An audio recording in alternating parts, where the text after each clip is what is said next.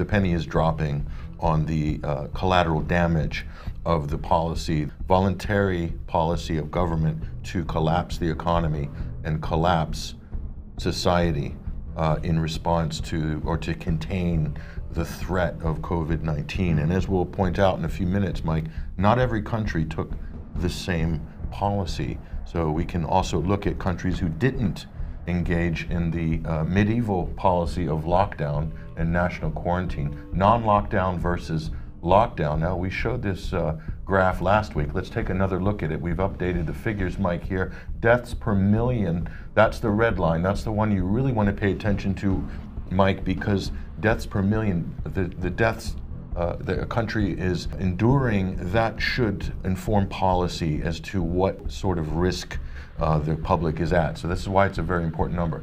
So let's look in. On the left-hand side, you'll see the non-lockdown countries with Mexico in the middle. Uh, we'll explain Mexico's status in a minute. And then the lockdown countries on the right-hand side. And that's the green bars there are cases uh, per million. As you can see, Iceland is right up at the top there. They've done more testing, obviously, so they're going to have more cases per million on yeah, because record. The, the key point here again, Patrick, is this is identified cases. Yes. And there are lots of people, apparently, according to the experts anyway, running around uh, asymptomatic or with mild symptoms. They've never needed to have uh, hospitalization, and so they're not confirmed either way. Yes. These are just the confirmed cases. Yeah, so you, you can't glean too much from the green bar because it really has to do with how active the country's been or proactive in testing. But the red line is what's important. As you can see on the left-hand side, uh, the non-lockdown countries, Sweden, Iceland, Belarus, Taiwan, South Korea, Japan, and Mexico just went into lockdown, Mike, on April 2nd uh, officially. So they're sort of a half, half and half, hence we put them in the middle. And then you have the main lockdown countries that we're using as a barometer, the UK, France, Germany, Spain, Italy, Belgium, and the United States. And as you can see, the lockdown countries are experiencing much higher per capita deaths per million, Mike. And look at the non lockdown countries. You could say they're outperforming the lockdown countries if deaths and saving lives is the most important metric. And we're told time and time again, every two seconds, it's about saving lives. Well, look at the non lockdown countries and look at the lockdown countries.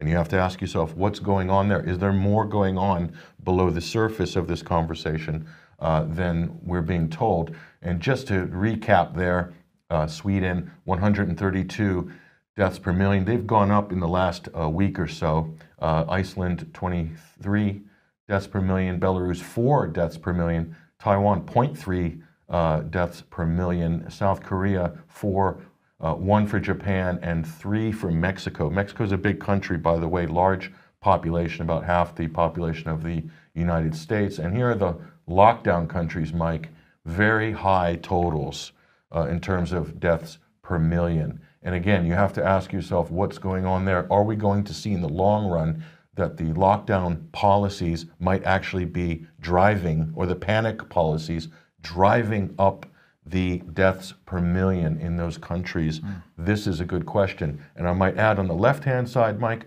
these countries more likely have achieved herd immunity much faster. And so they probably will not be prone to a second wave uh, as, or, or, as much at risk of a, a second, more virulent wave uh, than the lockdown countries by choosing the medieval policy of having a national quarantine. I say medieval policy, Mike, because this is what uh, has been described by uh, many other experts. Uh, John Ioannidis used this term as well. Uh, Dr. Shiva has used this term as well. Many other uh, experts and scientists have used this, this term, basically saying this is a archaic approach that's really never been used in modern times, a full national quarantine, quarantine whole countries. We'll take a look in, in, perspective, Mike, and people are saying, well, Sweden's absolutely failed. Let's put COVID 19 in context here. Sweden, population 10.5 million, COVID 19 fatalities 1,333.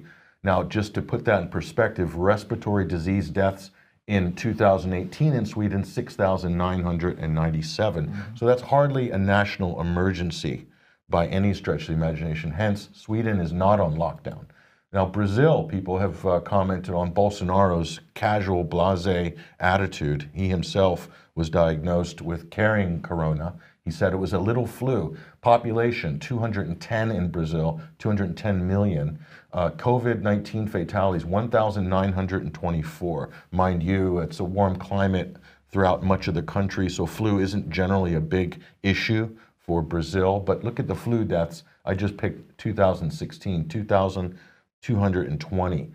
So, you know, what do we what can we conclude from this? Well, in Sweden, this is not a pandemic, okay? And in Brazil, it's a non-event. And a lot of people say, well, you're, you're demeaning uh, the 1,900 uh, fatalities in Brazil. No, we're not. We're, we're putting it in context, Mike. We're saying that there's a number of infectious diseases, a number of different ways that uh, could contribute to the mortality uh, totals in any country, whether it be Sweden or Brazil. And where does COVID 19 coronavirus fit into that matrix? Well, it's quite minor, in fact, in comparison to so many other things.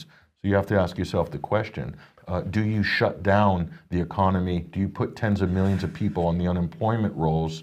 Do you shut down society? Do you destroy whole communities uh, in order to uh, mitigate a disease or that isn't really uh, taking as many lives as a number, a, a host of other, uh, not only diseases, but other uh, lifestyle factors mm-hmm. and general health uh, epidemics in countries? That's the question that nobody asked government when this started. Nobody held government to account and said, on what basis is this lockdown policy being instituted? As we can see, Mike, the non lockdown countries have got the same or better results without having to destroy their countries effectively. Okay. Now, I, not, I, might, I might be sounding flippant there, but destroying a whole working economy and destroying a society, Mike, that's very close to sort of taking a wrecking ball. It's about as close as you can get to taking a wrecking ball to the nation. Well, that, that, that is the question that we've been asking on this program since the very beginning of this. Because before it ever came to the UK and, and Europe, uh, it had already been through China. And there was there was a fair amount of understanding of the types of people that it was attacking and the types of situations. Uh, look, uh, that's on a national level, Patrick. USA you mentioned there, but of course the United States is really like a subcontinent of countries, individual countries. So each state has its own rules in many cases. Some states are in lockdown, some states aren't in lockdown. So what's going on there? Well, let's look at uh, one of the extreme cases here of sort of draconian measures. This is the state of Michigan. Of course, the Daily Mail's put a heavy political spin on this, as are much of the mainstream media. Protesters waving MAGA flags, uh, defying social distancing at a major protest at Michigan State Capitol. Governor Gretchen Whitmer is really under fire with a lot of residents because of her new strict stay at home orders that are even more strict than some European countries, Mike. Let's take a look at this. But obviously, this is the image here that really sets the media ablaze. Uh, these are local uh, militia in the state of Michigan. Of course, they're coming armed. You can see them AR 15s. That's not a, a shocking sight if you're from a state like Michigan or uh, an open carry state in the United States. But of course, to European readers, they might be shocked at seeing people with uh, uh, guns like this, but yeah, they're exercising their Second Amendment. Um, look, we're going to show a little bit of video in a second, but in the video, the the, the uh, questioner makes a comment about uh, Confederate flags. I don't see too many Confederate flags in that particular image. I think there was a there was a truck flying a Confederate flag, and that made headlines on MSNBC, and they did a whole segment on that, saying the racist element to uh, mm. to this. So anyway, hundreds of people came out, Mike and it was a major protest. And we'll, we'll look at the reaction of Governor, Democratic Governor Gretchen Whitmer here. This is a segment uh, with MSNBC. Let's let's take a listen.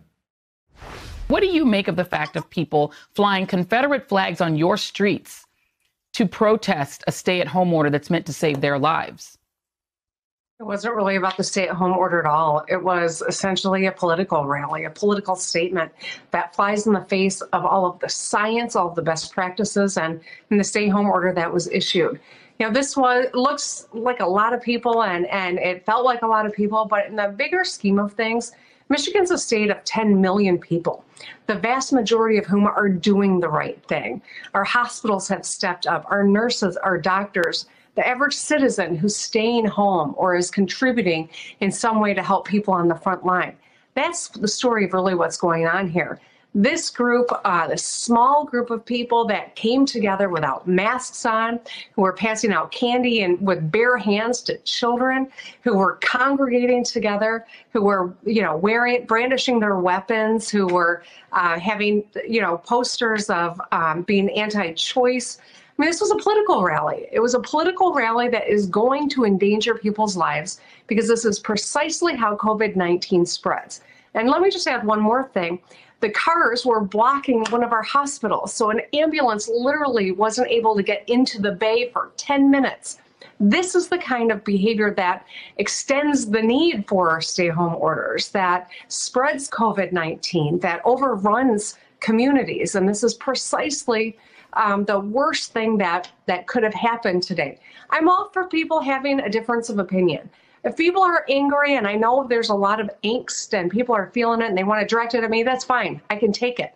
But showing up and being this irresponsible is not just endangering their own lives, it's endangering all of our first responders and our ability to meet the needs of, of the people of this state who are all trying to do the right thing. I mean, she's really So- in message, Mike, with the UK's talking points, isn't she? Yeah. Uh, absolutely. So she's uh, pushing the same type of narrative that uh, the, the lockdown will end sooner if you behave yourself. If you don't behave yourself, it's going to continue. And, and she also uh, put out uh, a, talk, a talking points like the, this is how uh, um, uh, our first responders are being put in, in jeopardy because of people out uh, exercising their First Amendment rights, protesting, and that's that's uh, you know total demagoguery, complete exaggeration. This is not how co- the coronavirus spreads, and and the COVID nineteen and the coronavirus. people have coronaviruses, but COVID 19 are related conditions. This is the quote disease. So most people are asymptomatic. Well, look at what she said about this here, Mike.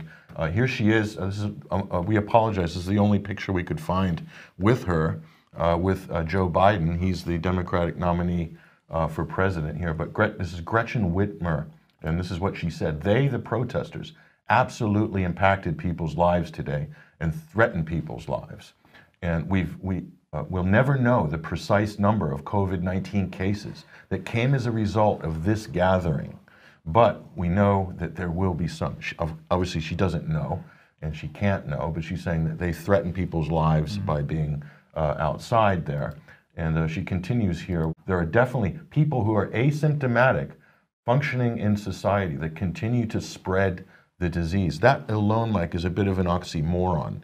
Well, it's, it's, it's an absolute fear porn statement. She is pushing the idea that you cannot trust the person you're standing beside because they may be asymptomatic and therefore spreading the disease. You've got to be scared of them. and that if you're asymptomatic, you have a disease. And that's not true. That's not a factual or scientific statement. Mind you, this is the governor of Michigan talking here. And so she says, We're seeing uh, continuous positive tests. Uh, She's talking about asymptomatics. And precisely events like this, which contribute to how long we're going to be under the stay at home order that they were protesting. So she's saying, if you're out protesting, we're going to keep you under lockdown longer, basically. And there she is with Joe Biden. Yes. But uh, moving on, so here's Gretchen. She reads the mean tweets. This was during her, her campaign. Uh, but let's look at what's going on here in, in Michigan with the lockdown. This is her new policy no gathering of any people who are not part of a single household forbidden, okay? Uh, no travel uh, to in state vacation or second homes. Large stores can only have four customers per 1,000 square feet of floor space. And uh, apparently, no areas are allowed to be open, Mike, have to do with carpeting, flooring, furniture, garden centers, plant nurseries, or paint. I can't understand why that is the case. I think it does. She doesn't want people doing any work on the home during the lockdown period. So no motorboats or jet ski use. That's a big problem in a watery lake-filled state like Michigan. Uh, so let's take a look here. Now, in contrast, this is my home state, Nebraska, so I'm particularly interested in what they're doing. It's a non-lockdown state, Nebraska, the Cornhusker state. So what are they saying here? This is what the governor is saying. Traveling outside home, the governor hasn't, hasn't issued any stay-at-home orders. Gatherings, 10-person limit in public. Businesses, no statewide directives. Use your own discretion. Quarantines, no statewide travel quarantine. Uh, mandatory quarantines for COVID 19 patients and households, yes. So targeted, targeted quarantines for people who are ill. Bars, restaurants, takeaway only. Uh, so, and also beaches and parks, no statewide directives, up to their discretion, whoever's operating it. So it's a common sense policy, very similar to uh, Sweden. Let's take a look at the United States here, Mike. Non lockdown versus lockdown. This is the USA. Again, deaths per million. That's the red line. That's the one you want to look at.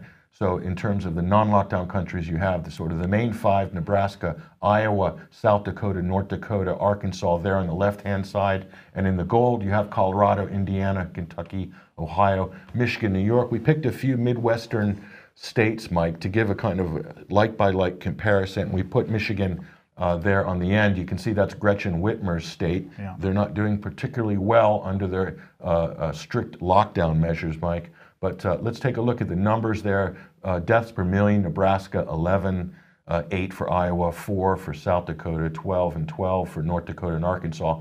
Colorado, Indiana, Kentucky, Ohio, much higher, in fact. And there's Michigan, 210 deaths per million. That's Gretchen Whitmer's state. And then New York is just shocking, 890 deaths per million. There's been a lot of accusations about pumping up, inflating the numbers on causes of death. You obviously have this debate as well in the UK, Mike, of how they're attributing death, the cause of death, i.e., uh, dying with uh, coronavirus or COVID 19, and then dying from it, and not able to make that distinguish those two things. Uh, and so, again, this could be inflating the death numbers. But as you can see, Mike, non lockdown, again, in the United States, non lockdown versus lockdown, there's a big difference in terms of deaths per million. And is that not the most important metric if it's all about saving lives?